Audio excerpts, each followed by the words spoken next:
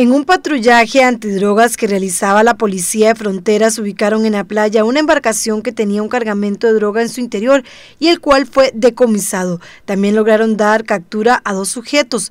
El hecho se dio en las cercanías a Playa Llorona en Corcovado, específicamente en Salsipuedes de Osa, donde los policías de fronteras localizaron dicha embarcación y observaron a tres sujetos, quienes al percatarse de la presencia policial se dieron a la fuga.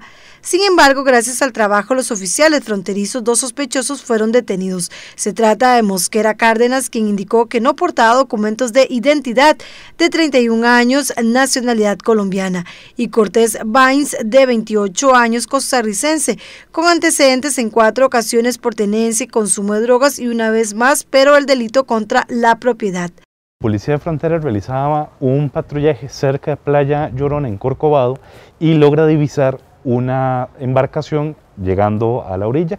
Cuando llega a intervenir, las personas al darse cuenta de la presencia policial huyen, se adentran en el bosque, en la persecución se logra la detención de dos personas y se ubica en la embarcación casi dos toneladas de marihuana. A ese trabajo se sumaron los oficiales de la Policía de Control de Drogas del Ministerio de Seguridad Pública, quienes determinaron que se trataba de un total de 2.527 paquetes de marihuana, con un peso aproximado a los 1.857 kilogramos, de los cuales 1.269 paquetes pesaban aproximadamente un kilo cada uno, 1.257 paquetes de medio kilogramo cada uno y, y uno más de 292 gramos aproximadamente.